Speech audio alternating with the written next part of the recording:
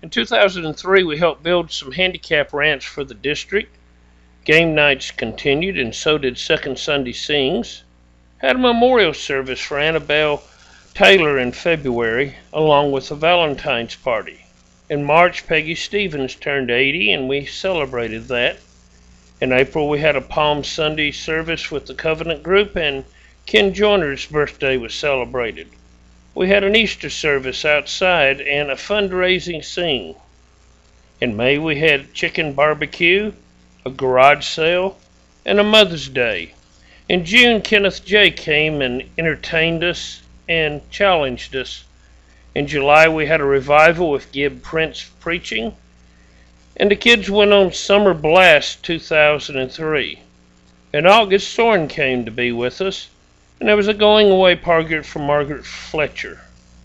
September saw homecoming, November charge conference and Thanksgiving service. In December, we had Christmas at Jean and Barbara's, a Christmas program at the church, and baskets were made for our shut-ins. This year also Irene Vincent and Wilma Flanagan passed away. Let's have a look at it in pictures now.